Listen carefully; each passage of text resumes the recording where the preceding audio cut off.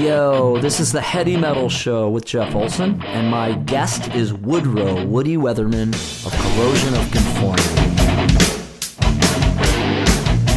Hello, hello. Hello, Woody. Ah, this is great to talk with you. Uh, had a great chat many months ago with Jimmy Bower. Oh, awesome, man! What what a good young man. I'm gonna tell you what, dude. He, uh, man, Bower, Bower, uh, he he filled in, of course, for Mullin for for uh, a, whole tour there for us, man. Did a fantastic job. You know, it's uh, tough shoes to fill, man, but he he did a great job. Oh, I hear ya. He is uh, quite a guy. Great, great Southern hospitality kind of man. It was. Uh, there'll be some definitely some links as we uh, talk you through here. I got about 18, 20 questions prepared. Cool, man. Before you get started, man, I just I, I got I got to tell you, dude, I'm a monster fan, and I'm I'm kind of a little a little nervous, man, chatting with you, dude. Just, What? for, for many many many years, dude, I've I've been a giant giant fan of yours, and uh, you know, so I, I've been I've been uh, waiting anxiously to get to talk to you again on, on the on the phone here, dude. So I just I want to let you know I'm stoked, man. Same here. That that's really funny, man. well, now I'm not as nervous. that's great. Did you like the Allagash Tripel that Sam and Patrick One brought you to the Clutch show and I- I- COC show?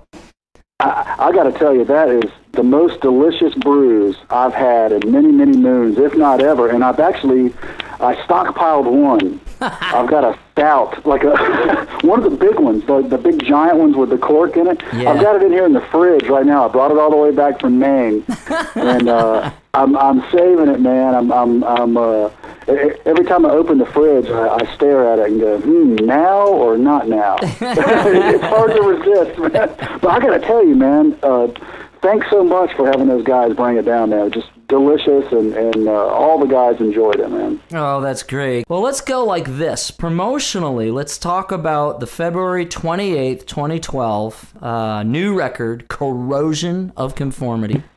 And Yeah, this is your eighth album.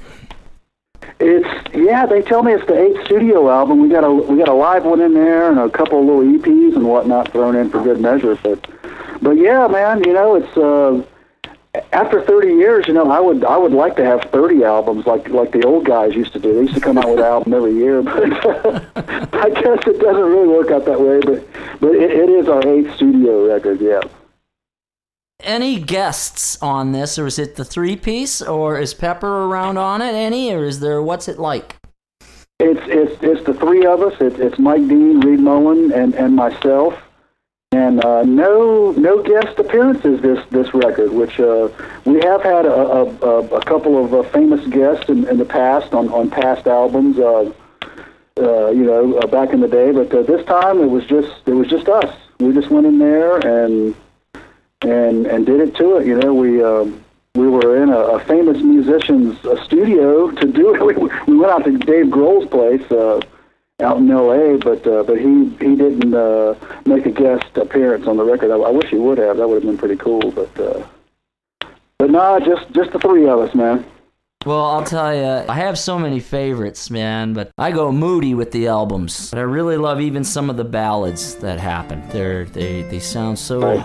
at home, like you know, like something almost story-like, uh, almost folk-like, which is uh, incredible. Uh, Right, that's- Well, you're you're you're you're familiar with that from from your work uh, with with Trouble and whatnot. But a, a lot of times on those albums, when you when you've got the such intense songs, it, it really it really makes the album flow. Especially uh, well, well for us, it, it always has to to throw in something off the wall, you know, and then like break it down for a moment or two before you jump back in and start hitting people on the head with a sledgehammer. You know. yeah, sure, sure. Let them take a short rest. One of them to me appeals. I don't know if it's on Deliverance. It's just gorgeous, and it sounds capoed or it's high pitched. Yeah, you know, and, and we, we have experimented on some on some crazy stuff. Um, uh, you know, have, there's been a couple of mandolins make appearances uh, through the years, but uh, I don't know exactly what you're talking about. But but yeah, there's if you hear it, it it's it likely it might have happened because we've done some experimenting. Uh, now here on the new one, I didn't really get into any of the crazy instruments. I pretty much stayed with the with the six string guitar, as as did Mike with the four string bass. But uh, but we we've never had a, a problem. You know, if the opportunity arises, heck, you know, jump on a mandolin if you can pull it off. You know, and and, and click a couple of a couple of notes off. Why not, man? You know, we're not scared. No, no, you're not. you know, because some people shy away from that stuff, but it's like, hey, you know, the name of the band is Corrosion of Conformity. Yeah. You know, it kind of gives us semi carte blanche to do to do whatever. You know. That's great. Other than uh, uh, us with trouble, like now, what are we in trouble about? You know, I was like, fucking. Who forgot the passport? Oh, jeez, you know. Hey, don't hey, don't bring that up. That's This happened. that brings back some bad memories. oh man. Who forgot the passport? That's a nightmare. Yeah, it, it, it's a nightmare that comes true every once in a while. But Oh man. COC's hiatuses were brief and occasional. Did you ever think that you would ever completely stop making music in any of those breaks or changes in time? no, you know, really seriously, no. Um, and and admittedly, we have taken too many breaks that were too long. You know, like uh, we always, I think we always had the intention of like, well, you know, we did a record, we toured on it for a year, and and we're going to go home and we're going to start working on another record. And it, it it's almost like rarely does that happen for us. Um, Yeah. I don't really know why. I think it. Uh, we all kind of get home and get into our own things for a while, and next thing you know, two or three years has gone by. Sure. And um, but uh, you know, it's it's. Uh, and I'm going to stick my neck out. yeah, you know, and I'll I'll stick my neck out, and I'll, I'll say once again something that I've said before. We definitely don't plan on taking a, any sort of break after this. I mean, we're we're kind of on a roll, and we're having too much fun to uh, to take one of those three, four, five year breaks. It just it's it, it's not good for us really, and and I mean, thank goodness we've got fans that'll that'll hang around during that time period and not not totally forget about us. You know, we we don't really have those fly by night fans, which is good. Yeah, uh, I'll tell you though, like it's shorter than the trouble ones, like ten years. Like, you guys are broken up. Your history, you know, like Right. that's why I wanted to pull out of that with you guys because it's sometimes it's just the way change goes, and it's the way that you know time goes by. I think sometimes, and uh, It does, man. It flies, and the next thing you know, you're like, well, wait a second, man. We need to. And you know, sometimes during that time, as I'm sure you do too, you, you, you continue working on music, even with your, your your same band members or whatever. I know I know that we do, but it just it takes us a while to get everything back in gear, especially if you're in between record labels or uh, you know, there's always some sort of circumstance that you know. But once we have a goal, then we're we're we're we're, we're gone. You know, Yeah. give, give us a deadline, and we're, and we're Awesome. there, man. that's great. That's great. Showing up totally on uh, game day there. You got to do it. Yeah.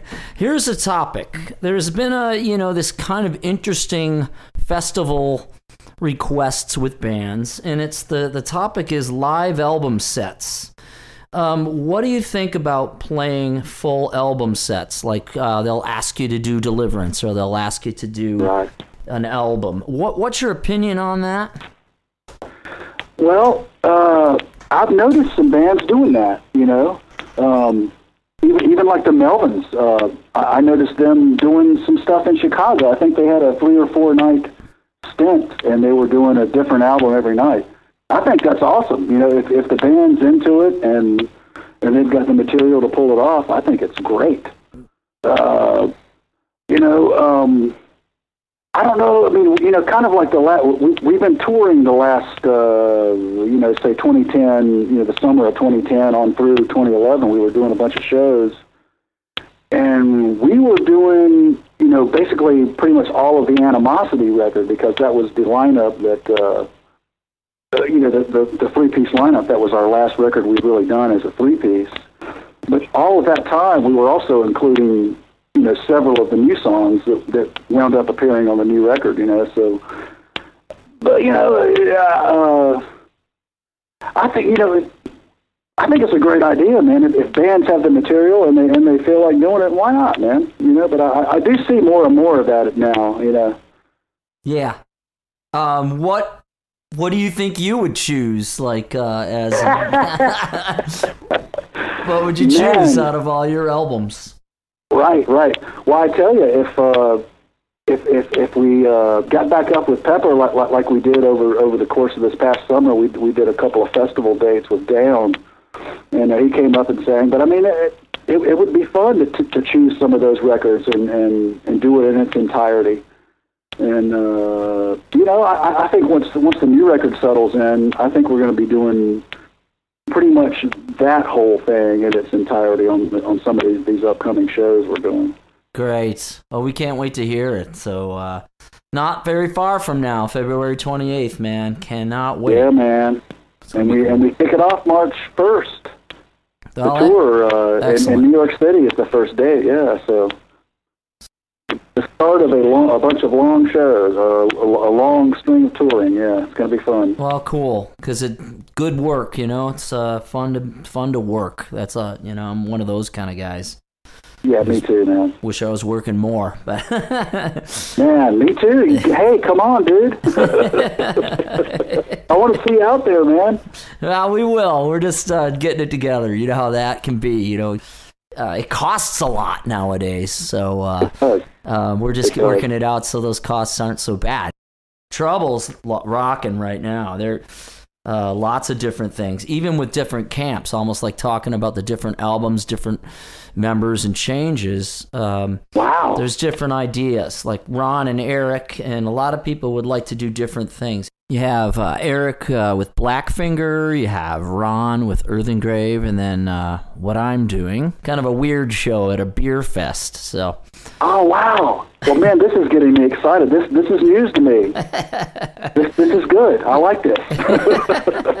well i got a weird duo uh, and it's it's uh, retrograve and it's really fun so it's kind of creepy sounding but at times it's got you know some power uh, so it's it's it's fun it's it's cool music sort of pink floyd sort of trouble so it's, Are, it's are hard you uh, explain. drumming? Are, I drum, drumming sing. I'll grab, uh, I grab a Fernandes with a sustainer bar on it, vibra bar, and I'll do some sound effects things, and we'll move into kind of an improv thing with that, and uh, it's just some cool, cool stuff. And I'm definitely drumming uh, all the way. Is the what I mainly do and sing, and uh, Wow.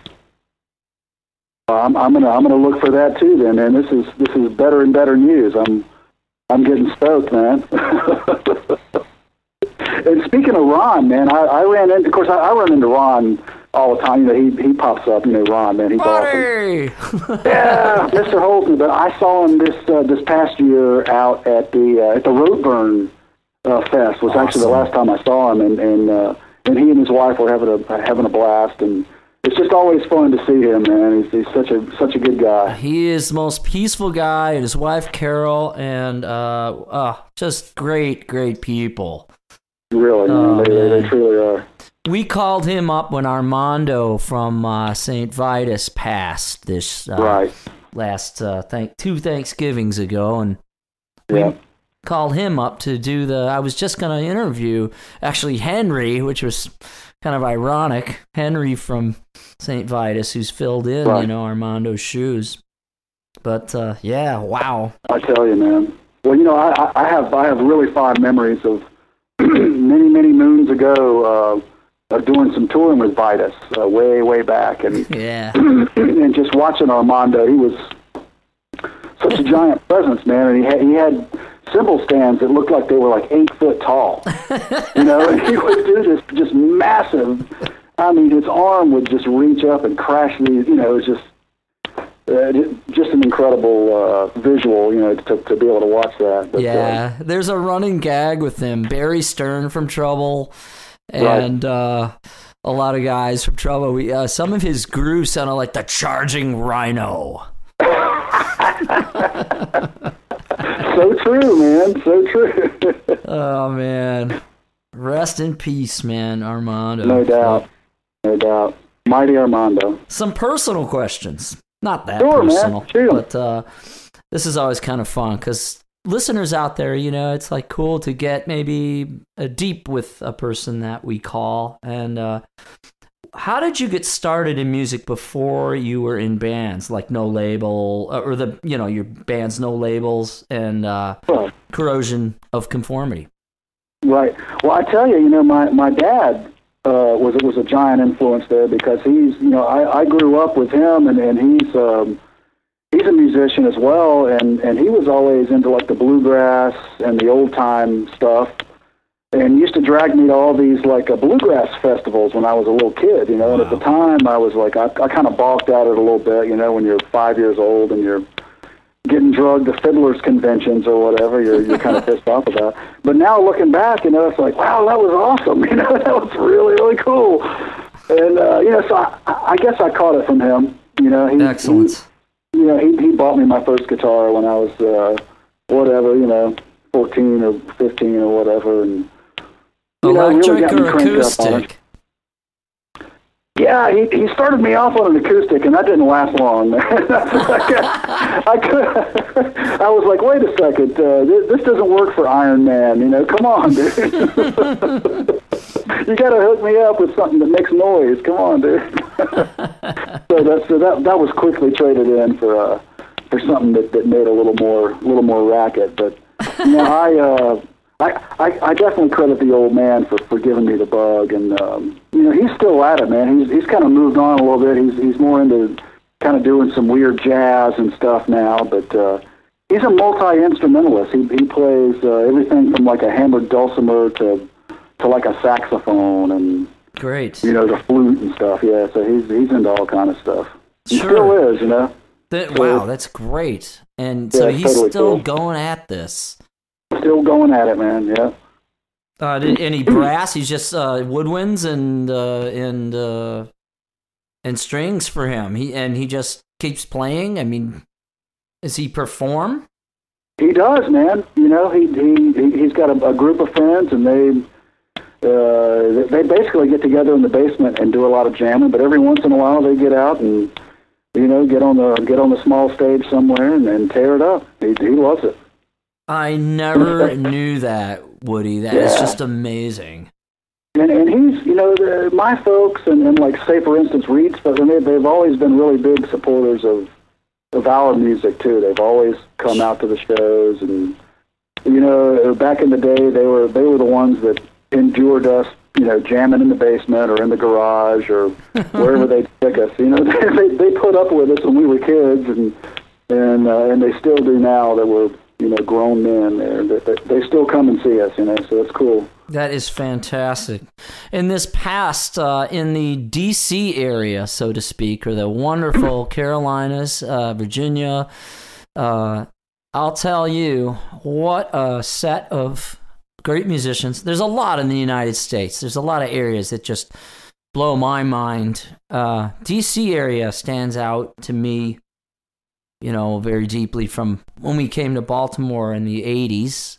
But uh, d- on that, Oh, there was there was a lot of great doom and, and just great rock that came out of out of the D.C. Baltimore area. I mean, we all know that. you like know, thinking of Victor bands. Griffin and uh, you know uh, Victor Griffin and uh, just different Death Row and Pentagram and different bands and all these. It, it just seemed there was a great movement happening. Wi- Wino and, and the Obsessed. And, I mean, Wino, the, the yeah. list goes on and on. Yeah. Yeah, yeah, it's just great. Did you meet uh, Dave Grohl in that time period when you were younger, like with the the Scream or anything like that? Any of those cats? Yeah, absolutely. I mean, you know, of course, our our geographic uh, proximity, you know, allowed us to. We used to go up there all the time to see shows. I mean, that was where we went to see punk rock shows and and and, and metal shows, and um, you know, because Raleigh at the time was a was a fairly small town. You know, it was a small city, and and um, Sure. so so traveling up to D.C. or even to Richmond wa- was a big deal to get to see all these bands, and um, yeah, of, co- of course, Grohl w- w- was part of that scene, and um, and Reed had a small record label, and, and wound up kind of. Uh, amongst others, you know, putting out one of th- this band Dane Bramage, which was one of Grohl's early early bands uh, put out their record, you know, and I think uh, uh, Reed and, and Dave have maintained a friendship uh, through the years, you know, pretty tight friendship, and that was uh, you know one of the one of the ways that we got hooked up. Of course, going going out to a studio and stuff, but but I mean, you know, there were so many great musicians from up there, and, and such a scene that that evolved out of it. Oh yeah. You know that that just had had a lot of meaning for a lot of people. So it was it was nice to see that you know in action and, and being born. You know. Sure. During you know during that time coming out of Chicago, we were so surprised um, that we, it just blew our socks off. You know, we had come through we met many of the towns when you travel for the first time, our, first tours, our first East Coast tours, and then here we get into that area, a DC area, and we couldn't believe it. Uh, people actually bought our record. I mean, I Yeah. like, what the? Look at Hey, this that's a good place. thing, man. You know, you go on tour and you sell a record, man. That's awesome. I love that, man. Yeah, yeah.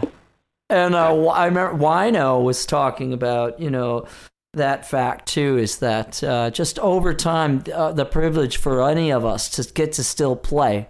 We never maybe thought it would ever be that way. We might have thought it would have been like most people in bands. Uh, and and here we are. What uh, we're so fortunate to, to be able to do our art, and we should. It, it is so true, and and you know Mike Dean has, has spoke about that recently. Uh, you know, people will ask you, well, you know, you've been around for 30 years. What are some of the differences? And it's like, well, now we we actually really appreciate it. We don't, you know, you don't take it for granted anymore because you you know it's it's like you're you- you're so lucky to be able to do this, and it's great to actually realize how lucky you are because it it even means even more. You know. Yeah, yeah. Now, where you're at now, down in that area, do you hang out uh, when you're off tour, relaxing and uh, working on the next thing, or what what you're doing? What is life like down there? Uh, do you hang out with different people, have cookouts, and uh, uh, what's your family life like uh, right now? Your personal Right, family right. life. Well, I, I tell you, um, Mike and and uh, and Reed are still living in Raleigh, Wow. and of course, I still have all my family down there. But I actually live two hours away, up in the up in Virginia, up in the mountains, Awesome. and so I'm kind of like Blue out in the Ridge man. Mountains. Yeah, I'm in the Blue Ridge Mountains, right right on the foothills, and uh, to tell you the truth, I have some land up here, and I raise cows, and uh, uh, I've got other animals, you know, donkeys and goats, and I just I get up here and I have a blast, man. That's what we saw Yeah. you on that tractor then. So do you I got the raise tractor. do you raise milkers or uh, what do you have? Holsteins? yeah, I got a little bit of both. I I, I I've got. Uh, I, I do have a, a Jersey that's like sort of like the uh, the family milk cow. You know, whenever she's she's had a calf, she's in milk. But uh, and I a raise, Jersey's a uh, smaller cow? Is that a smaller or, the, or am I thinking of Guernseys? Well, you know, the the Jersey is a little smaller, um, uh, especially the old the old timey jerseys. They they've bred some of the cows bigger now, but uh, but they're you know they're the old they're they're an old breed, an old heritage breed. So they are. Uh, if you get one of the older lines, they are kind of smaller compared to like those big black and white cows. The Holsteins The are really large. Holsteins. Yeah. Yeah, those things are big, man. Yeah, but uh, I, you know, mostly I, I, I keep some uh, some Charolais and Angus and Hereford uh, cross cattle, and they're they're they're like a beef breed, you know. Yep, those are your steers. So then you'll uh, fill Yeah, the man. freezers and uh, that's awesome, dude. I understand all that. I used to milk cows before I worked in wine and uh, champagne and beer and uh, Ah, oh yeah. okay, man. Well, good. So so you know the routine, man. I don't I don't actually do that whole milking thing because. That's a like lot of work, twice let me tell day. you. Yeah, the whole the whole getting up at three in the morning and milking twice a day. I don't think I could do that. It's three in the morning and it's uh, three in the afternoon, depending on the cow. So it's like, yes, sir. Yeah, uh, that that might not fit in with me, but uh, but the beef cows. I mean, you know the story with that. They they pretty much hang out in the in the fields and eat grass and, and drink water, and, and that's about it. yep, that's that's excellent. Yeah, Wow, man. We should uh, trade steaks for beer. Then we're gonna have to. Hey, Uh, we got something going here.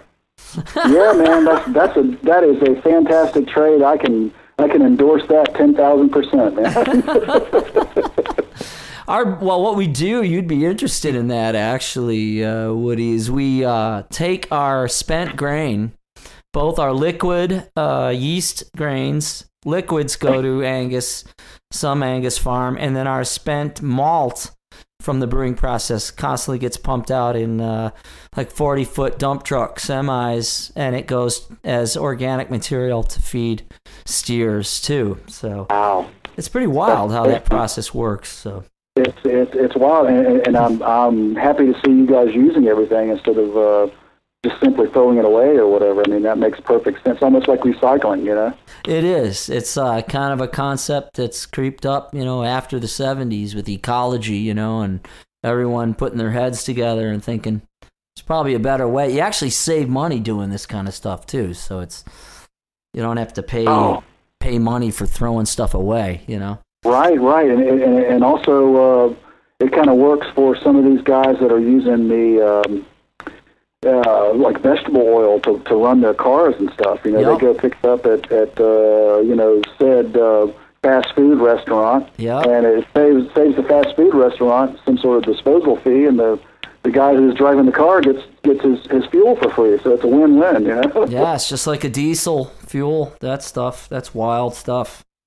Hey, you know, an, another uh, thing about the uh, the Allagash Brewery, uh, I actually found a, uh, a, a a specialty beer store in Raleigh, and they have they uh, sell your your beer there. Oh yeah, our guy uh, Les, I call him less is more.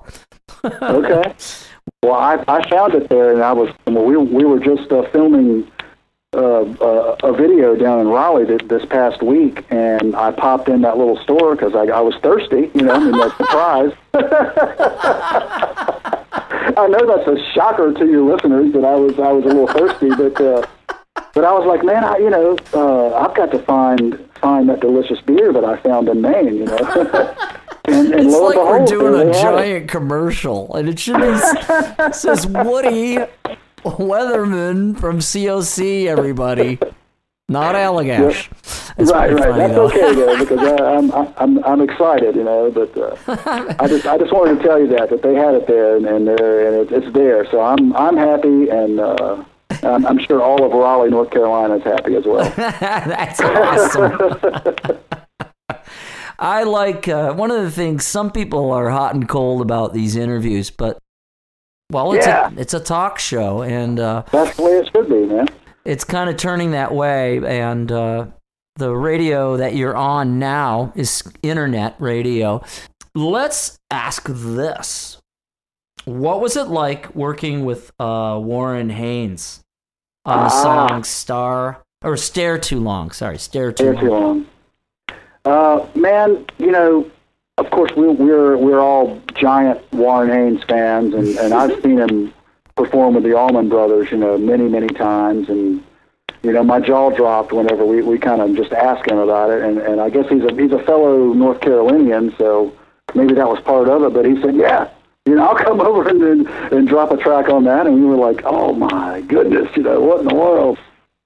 And lo and behold, man, he shows up. He just walks in with a guitar and, and plugs it into an amp that was there in the studio. And I mean, five minutes later, he was laying down unbelievable riffs. He's he's one of those guys that uh, is so unstoppable and knows so much about music and everything. It was my jaw was was you know rattling on the floor watching him, you know, because it was so effortless for a guy like that, you know. yeah And he he did a fantastic job, of course. You know, made the rest of it sound like crap. You know, it's like, come on, dude. but I mean, you know, it's it's a monster talent like that is is just an, am amazing to watch, especially in the studio. You know, yeah that must have been a blast Yeah, it was man, and and I I, I cherish that that the fact that he came and did that for us, you know, it was it was awesome. That's cool. Any other collaborations along your memory in history? I know you've done a lot, so of people that were really fun. Uh, maybe even James, you know, James Hetfield or anybody else that uh, might not have been mentioned that people don't know about that we could uh, that was fun to collaborate on corrosion of conformity records. Yeah, well, you know, uh, of course, Hetfield. Came, we, we were we were in New York doing uh, doing that album with the. Um, what was the name of that song? Not, not Broken Man, but. Uh, I can hear the song right now. It's like we have primitive times or whatever. yeah, I mean, you know, it, it was just Hetfield coming over as a friend, you know, and doing it, and and and most of the, uh, of course, the music was already on tape, and, and some of the lyrics or whatnot, some of the vocals, but uh, he came in and joined in with Pepper, and they sort of traded off on stuff on that thing, and. Man or Ash? Manor that's it, yeah. it's like I can remember the chorus, but I couldn't remember the name of the song. Manor yeah, he, he came. it's hilarious, I know, man. it's that Allagash kicking in again, man. no, it's that's just the normal thing yeah, kicking right? in. That's pretty oh, funny. man, I, it's, the, it's the old age, dude. Um, but, you know, there, there's been a few other buddies that have dropped by. But, you know, uh, playing playing with people that know what they're doing, especially if they just show up, and it's really if it's all about having a good time, that makes a big difference. And people people that know what they're doing basically show up to have a good time. And, and they don't, you know, people don't show up nervous or whatever. You know, I mean, I I might be a guy that might show up nervous. I don't know because sometimes I don't know what I'm doing, but I, I try to at least fake it. You know? Eric just I just interviewed Eric because he's got his uh, a band Eric Wagner from Trouble. Yeah. It's got a band called Blackfinger that's really good. I heard that. Yes. Yeah, and he yeah. has said if it's you know if it's not fun, then what are you doing? Why are you doing it? like it's just that simple. That is that is so true. That he, he hit the nail on the head, man. If it's not fun, what what the hell are you doing? Yeah, no doubt. Well, hey, let's shift some gears here. I like to do this on the show. Um, these last two kind of uh, situations are kind of the one that sets up the artist. We're gonna throw you uh, uh, in a game here called Apples and Oranges. Uh oh. it's five questions. It's just, I'm scared already, dude. well, at least I, I, didn't put you on match game. I did that to Jimmy Bower and Pentagram and. All right, here we go. You ready to play apples and oranges? Yeah, hit it. Hit me with it, man. All right. Question number one: Beatles, Stones, or Kinks? Holy moly! Ah, Stones for me, of course. Awesome. Wow. Stones, Stones. Cool. Question two Beer or wine? Beer. This is easy, man. I like it. Nothing against the wine drinkers out there, you know. And I've been known to sample a little wine here and there, but come on, beer, man. Heck. this one's always a fun one. Question 13. I'm sure I'm going to get in trouble one of these days for this one. Betsy Bitch, Lita Ford, or Joan Jett? Ooh, wow. Holy moly. That's a tough one. Uh, I don't know. Yeah, maybe maybe just Lita Ford for the attitude, you know? right. Here's one you might dig. Chevy, Ford, or Dodge? Dude, it's it's Chevy all the way for me. Gotta have it. I mean, I've, you know, hey, it's it's Chevy and Harley. All right. They, they go hand in hand for me, man. That's it. That's awesome. What was uh, I remember asking uh, Chris from the drummer of Autopsy? Yeah. I go, what was your first uh, car that you were legally allowed to drive? So I should ask you that question. It, it, it was a 68 Impala. All right. 68 Impala with it with a 327 turbo fire in it. And uh, my granddad, uh, it was like a really, it was all, it was already old and worn out, but but the uh, my my granddad uh, gave it to me, like whenever uh, I turned 16 or whatever. And he gave me that thing, and it was a monster. It had been his, you know, and he had about wore it out. But uh, we we called it the Blue Whale. It was giant. It was only two door, but it was like 40 foot long. It seemed like to me at the time. And uh, it had the big giant seat in the front that just slid all the way across. It didn't have bucket seats, you know. And so if you took a corner too quick, I mean, if you didn't hang on to the steering wheel pretty good, you'd, you'd wind up on the passenger door, you know. but I, you know, ever since then, I mean, it's, it's Chevy all the way. That's awesome. That's just really cool to hear. Wow. All right. Yeah, and man. lastly, question uh, five here in apples and oranges: early COC or new COC? Ooh, wow. well, I mean, new COC, you know, because it's it's kind of the same to me. It's sort of like we were we were trying to play those riffs in early COC. We just couldn't quite pull it off just yet. Because really, early COC was basically just a bunch of sped up Black Sabbath riffs. I mean, I, I'm not even joking. That's that's really true. that's what it was, man. It was just sped up Black, simplified Black Sabbath riffs. And That's uh, awesome. it's kind of the same thing now. so we've stayed true to our form, man. That is cool. Cool. Well, lastly, here, this is a question I ask everybody. It's pretty much the main question that uh, uh, is important. Yeah, I mean the whole thing is important, but this one's real important, and it, it's saying we're on an internet uh, questionnaire here, where the whole world can tap in, and more and more people are tapping into these. Uh, these things that that's happening here with these questions and the question is the heady question is what Yeah. would you like to say to the entire world at this given time Holy moly. Uh, well, I got to tell you, the year is 2012. So let's party like madmen and have a good time because the hi, man. you know, ignore the naysayers, man. It's it's uh, it's going to be a good year, and there's going to be many years to follow. But let's just have a good time. that's great that's a great answer that's uh so many people answer that question differently and uh some people answer quick like that and and some people Uli Roth took 15 minutes and I Oh wow! thought he was gonna be done in ten. You know, like uh, I don't have much time or whatever. You know, but he didn't. He never said that. Um, right. It was. Uh, and you, uh, like all of I don't know what number of interviews this is, but you of uh, at least forty to forty-five right now.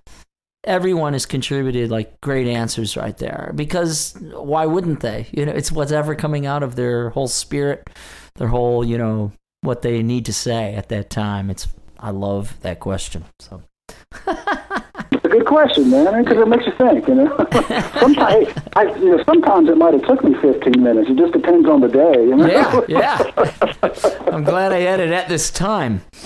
right. You hit, it, you hit it right on the on the spot, man. Awesome uh, to talk with you. hey, y'all. This is Woodroe from Corrosion and Conformity, and you're listening to the Heady Metal Show. Jeff Olson. You know what question I need to ask and insert it at, Yeah, at the very beginning? I would like to do this again. I'm just, uh, and it's not a problem. I just go back and I edit this anyways. Yeah. Um, what brought you to the point of almost creating a self-title at this point, uh, calling the new record "Corrosion of Conformity"? Well, you know, and, a lot of people have, have kind of asked that. You know, well, is it is it sort of does it mean this is uh, you know the best record you've ever done, or the best record you ever will do, or you know what exactly does that mean? And whenever Mike Mike Dean uh, brought up that, I was like, well, you know, uh, this is kind of like our 30th year as a band, and we're sort of reverting back to kind of the original guys or whatever, you know, the original three guys that started it. And uh, I thought it was a good idea too. You know, I, I- definitely don't think it's our, you know, absolutely going to be our definitive work because I think there's better things coming in the future. Even you know, I mean, we always try to improve, and it's. Uh, I always look as, as at every album as the best that we can do at that time. You know, Excellent. and and and and so that's. I think this record is the best that we can do right now, and I think we'll we'll try to improve on it next time. And you know, but it's uh, people have, have asked, you know, why uh, you know why now do a, a self-titled album? Well, why not? We haven't done one yet. We got to do one sometime, you know. That's great.